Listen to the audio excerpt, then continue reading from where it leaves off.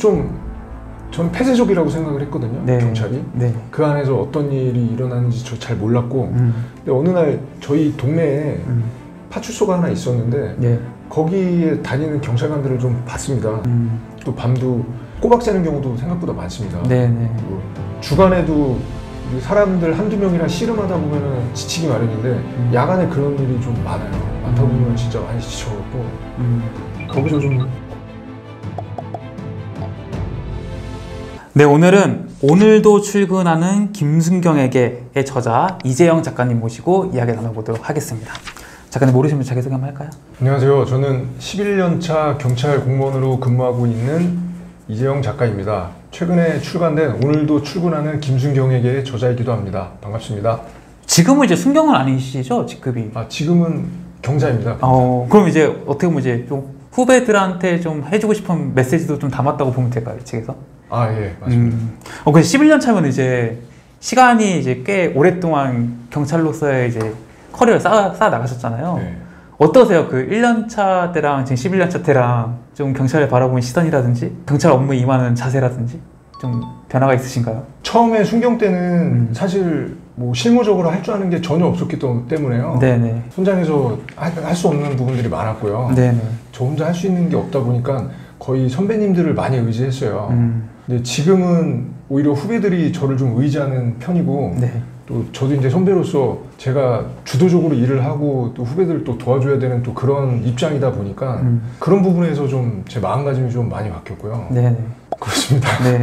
처음에 직업군인 하셨다가 네네. 그래서 이제 경찰 시험을 보시기로 하셨던 거잖아요. 네, 네. 경찰을 꼭 되고 싶었던 뭐 특별한 이유가 있으셨나요?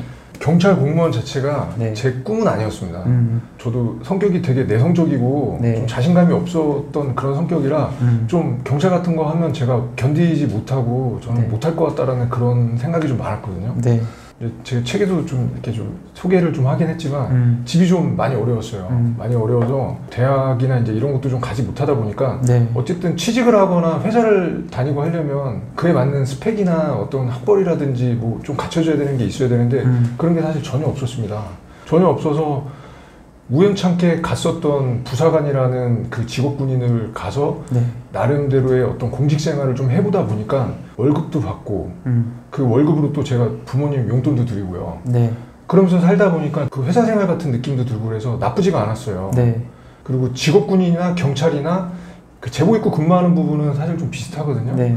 그래서 다른 공무원보다 좀 경찰 공무원에 조금 관심이 좀 그나마 좀 갔었던 건 사실이고요. 음. 직업군인을 사실 장기 복무 지원을 했는데 제가 그 당시에 탈락을 해서 네.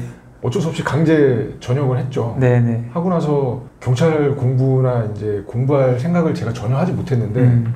다니던 그 공장마저도 제가 자동차 업계가 좀 어려운 시절이었어요. 네. 그래서 그 공장도 좀 그 직원을 줄이고 그런 입장이고 음. 망하고 좀 안 좋아서 음. 저도 그 공장도 나오게 되는 그런 상황이다 음. 보니까 고민 고민하다가 네.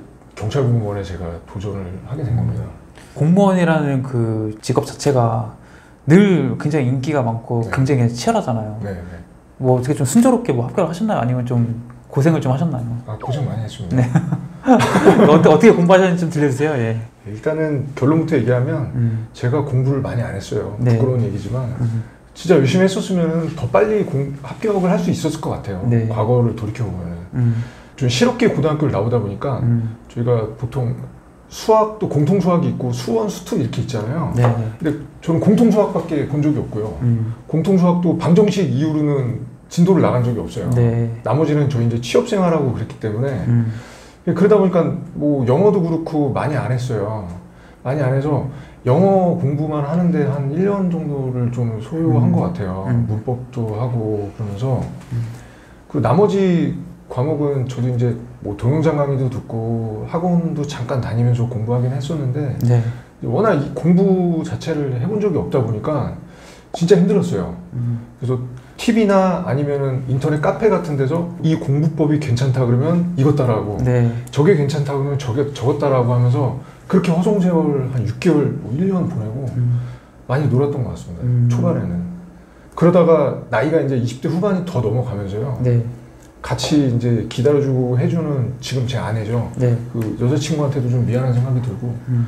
또 저희 어머니 아버지도 또 계시고 한데 그게 좀 너무 미안했어요. 제가 또 장남이고 하다 보니까 음. 그러면서 좀 정신을 차리게 된 것 같아요. 현실을 제가 직시하다 보니까 어느 날 도서관이나 독서실에서 맨날 추리닝 바람에 이렇게 공부하고 그랬는데 같은 추리닝 바람에 다니던 형이나 누나들 아니면 저보다 나이 어린 친구들 같은데 그 친구들이 어느 날 되게 근사한 옷을 입고 온 거예요. 네. 보니까 합격을 해서 오. 면접 준비하고 네. 또 그런 거에 대해서 우리 공부하는 친구들한테 insight를 또 남기고 음. 그런 것들 보면서 별거 없어 보였던 사람인데 합격하니까 광채가 느껴졌거든요. 네. 그게 더 자극을 받았던 것도 같습니다. 음. 몇 년을 공부하신 거예요, 수험 기간이? 대략 3년이 조금 안 됐던 것 같아요. 3 년이면- 합격하기까지. 빨리 붙으신 것 같은데 그래도? 저도 이제 장수생의 그 기준이 정확하게 몇 년인지는 모르겠습니다. 네네네. 최근에 사실 뭐 7년 공부한 후배도 있고요. 네. 5년 공부한 후배도 있는데 네. 너희들이 생각하는 장수생의 기준은 몇 년이니 이렇게 네. 물어보긴 했는데 네. 5년이 아닐까요? 뭐 이렇게 어. 얘기하는데 저는 이제 3년도 좀 많이 늦었다고 생각을 음. 좀 했거든요. 음. 그 당시 합격했을 때 나이가 어떻게 되셨어요? 제가 27살에 합격이 됐고요. 아, 굉장히 빨리 되신 것 같은데. 근데 그 경찰학교 갔을 때는 동기들 중에서는 그래도 나이가 중간보다 조금 위였어요. 음. 평균 나이가. 네. 그럼 이제 그렇게 이제 3년 동안 공부를 열심히 하셔가지고 합격을 하셨잖아요. 딱 경찰에 됐을 때 작가님께서 그 수험 때 상상을 할 거 아니에요. 내가 경찰하면 뭐 이런 거 해봐야지. 나 이렇게 이런 경찰대 이런 게 있을 거 아니에요. 네. 어떠셨어요? 그 현실이 내가 생각한 거와 비슷했어요? 아니면 좀 달랐어요? 많이 달랐습니다. 네. 가장 크게 달랐던 게 뭐였어요? 일단 제가 경찰 되기 전에 음. 제가 밖에서 본 모습이나 그런 모습들은 네. 사실 좀 저는 폐쇄적이라고 생각을 했거든요. 네. 경찰이. 네. 그 안에서 어떤 일이 일어나는지 저 잘 몰랐고 음. 근데 어느 날 저희 동네에 음. 파출소가 하나 있었는데 네. 거기에 다니는 경찰관들을 좀 봤습니다. 네. 보고 다니고 했는데 준비할 당시에도 제가 20대 중반이 넘은 나이였기 때문에 저랑 음. 비슷한 나이 때 그 순경분들도 계셨어요. 네. 근데 막 바쁘게 이렇게 출동 나가기도 하고요. 뭐 주치자들한테 막 큰 소리 치면서 네. 이렇게 하기도 하고 시장에서 상인들이랑 얘기하면서 뭐 호떡 사 먹기도 하고 네. 제가 김밥 천국에서 밥을 먹는데 네. 김밥이랑 라면을 드시러 오신 분도 봤는데 좀 신기하게 느껴졌거든요. 음. 아, 이 어떤 사람이구나. 네. 그래서 그, 그런 주민 친화적인 모습이 저는 느껴져서 음. 아, 내가 경찰이 돼서 주민 친화적인 모습을 가져야 되겠다 이런 생각을 사실 좀 했습니다. 네. 그리고 순찰차 다니면서 지역사회 사람들 만나고 다니는 게 폐쇄적인 군 생활이랑 비교해 봤을 때 너무 자유롭게 느껴졌거든요. 음. 그래서 더 끌려서 제가 앞으로 이렇게 생활해야 되겠다 하고선 공부를 제가 도전을 한 거예요. 시작을 네. 했고요. 형사나 이걸, 이런 걸 할 생각은 전혀 없었고요. 음. 근데 막상 가보니까 네. 어, 생각보다 몸에 붙이는 일이 많았고요. 음. 업무 강도는 군 생활보다 좀 힘들었던 것 같아요. 어, 군 생활보다도요? 네. 음. 왜냐면은 군 생활은 제가 경험한 군 생활은 그렇습니다. 네. 매일 밤새거나 그런 일이 많지는 않거든요. 그쵸. 근데 한 4일에 한 번씩은 계속 밤을 새야 되는 게 경찰 지금 현재 음. 지구대 근무고요. 음. 또 밤도 꼬박 새는 경우도 생각보다 많습니다. 네네. 그리고 주간에도 우리 사람들 한두 명이랑 씨름하다 보면은 지치기 마련인데 음. 야간에 그런 일이 좀 많아요. 많다 음. 보면 진짜 많이 지쳐갖고 음. 거기서 좀 이게 현타라고 하나요? 네네. 네. 음. 그 부분하고 또 이제 선배 관계 부분도 좀 많이 어려워서 어. 네, 그런 부분이 좀 제 숙명 때는 좀 많이 힘들었던 것 같아요. 음. 그 이제 경찰의 업무가 진짜 많잖아요. 네네네. 뭐 아까 말씀하신 뭐 주치자라든지 뭐 아니면 뭐 책에도 써 있지만 뭐 네. 중고차 문제 네. 이런 것도 여러 가지 사건 사고도 네. 겪고 또 진짜 여러 사람들도 다 만나실 것 같은데 네. 지금까지 가장 힘들었던 일은 뭐가 있으셨어요? 개인적으로 제가 힘들었던 건 음. 어떤 한 사건을 얘기했을 때 제가 음. 그 형사과 들어온 지 얼마 안 됐을 때 네. 어떻게 얘기하면 이제 증거인멸이라고 할 수가 있어요. 사람이 보통 죽으면 그 사망 원인을 파악하기 위해서 핵심은 타살인지 그쵸. 아니면 타살이 아닌지 타살 혐의점 판단 때문에 네. 소방에도 신고가 되고요. 경찰에도 보통 신고가 됩니다. 그러면 이제 지역 경찰, 지구대 경찰관들이 와서 음. 확인하고요. 그리고 형사 과학수사팀이 같이 와요. 네. 최근에는 검시관 제도도 도입이 돼서 네. 검시관도 같이 오게 됩니다. 그 간호나 이제 의- 의료 이런 종사자분들이 경찰이시거든요. 와갖고 이제 시신 상태 외관이랑 보고해서 이제 검시하고 만약에 사망 원인이 확인이 안 되면 부검을 하기도 해요. 음. 그게 지금 현재 우리나라 이제 변사 사건 처리 절차거든요. 네. 그거를 형사들이 다 담당을 해요. 음. 형사팀에 근무하는 형사들이 다 담당을 하는데 음. 만약에 살인이면은 형사과 안에 강력팀이 담당을 하게 되고요. 네. 네. 예, 일반적인 거는 형사팀이 담당을 합니다. 제가 이제 형사팀 간지 한 달이 채 안 됐을 때였어요. 네. 안 됐는데 제가 뭘 알, 알, 알았겠습니까? 그때 아무것도 그쵸. 모르고 막 이리 치고 저리 치고 뭐 그렇지 않아도 내성적인 성격이다 보니까 음. 업무도 어렵고 그래서 들어간 지 한 달 만에 5kg, 6kg가 빠지기도 했었어요. 야, 처음에는 네. 형사 갔을 때좀 네. 어렵기도 하고요. 선배들이 어렵기도 하고 그래서 음. 근데 그때 저희가 변사 사건을 처리하게 되면은 저희 마음대로 사건을 종결하는 게 아니라 우리나라 현실상 검사님한테 지휘를 받게 돼요. 네. 근데 이것도 마찬가지로 지휘를 받습니다. 우리가 봤을 때 타살 혐의점이 없기 때문에 시신 유족한테 인도해서 장례 치르게 하겠습니다라는 그런 지휘를 받거든요. 네. 그럼 검사는 그걸 보고선 다시 서면으로 지휘를 내려요. 그렇게 하라고 하든, 한다든지 음. 아니면 이거는 더 조사를 해야 될 필요가 있으니까 부검을 하라는 지휘가 내려오기도 해요. 네. 종종. 네.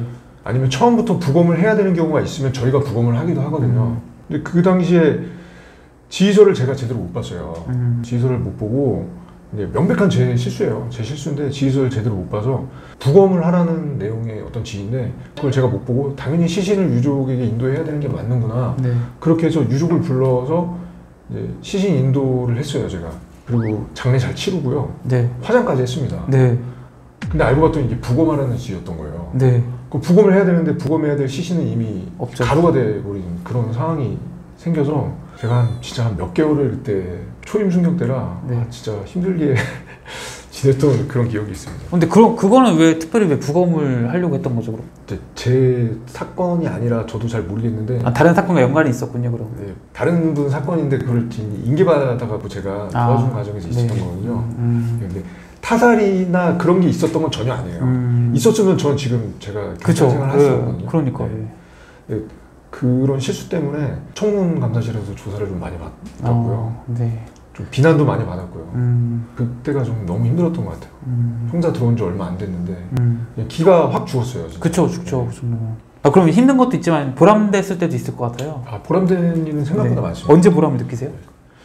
오히려 제가 초임 때는 진짜 적응하느라 제가 보람되는 걸 사실 잘 못 느꼈던 것 같아요. 음. 근데 제가 이제 업무도 할 줄 알고 적응되고 하다 보니까 오히려 어느 정도 약간 중고참게 됐을 때 지금 보람을 많이 느끼는 편인데요. 네. 가장 보람됐던 것 중에 하나 최근에 제가 말씀드리면 그 남의 집에 엿듣는 그런 사건이 하나 있었어요. 네네. 근데 그 사건을 제가 지구대에 있으면서 검거를 좀 했거든요.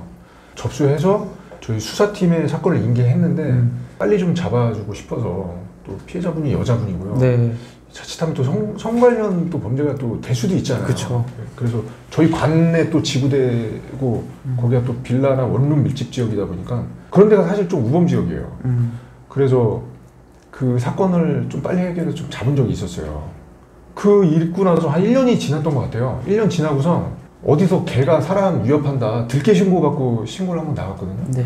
소방이랑 같이 출동해서 개를 찾으러 다녔습니다. 네. 근데 좀 야산에서 개소리만 나고 음. 걔는 결국에 못 찾았어요. 네. 못 찾았는데 그 어떤 여자분이 이렇게 가다가 저를 보고 알아보고 인사를 하더라고요. 음. 근데 코로나 팬데믹 때문에 마스크를 쓰다 보니까 저희가 얼굴을 잘 모르잖아요. 네. 저도 또 만나는 사람이 하도 많다 보니까 기억을 잘 못했거든요. 근데 음. 그때 그 신고했었던 사람이라고 음. 저한테 얘기하면서 되게 감사하다고 그렇게 1년 지났는데 그걸 얘기를 하시더라고요. 오. 그래서 아 그때 진짜 너무 제가 고맙더라고요. 음. 이걸 기억을 해주시는구나. 네. 우리는 일인데 진짜 죄 없는 사람들은 경찰서를 사실 평생에 한 번 갈까 말까 하잖아요. 그쵸. 네, 근데 아, 이런 분 입장에서는 진짜 이게 또 음. 좋은 그게 될 수 있구나 하면서 좀 제가 그때 많이 보람됐었습니다. 음. 그 일도 많이 많았는데 좀 생각나는 게 이거 하나. 음.